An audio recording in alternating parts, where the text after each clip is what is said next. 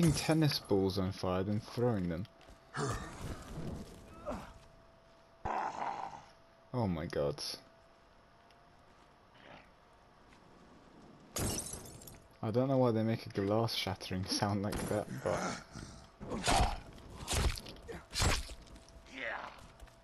Oh.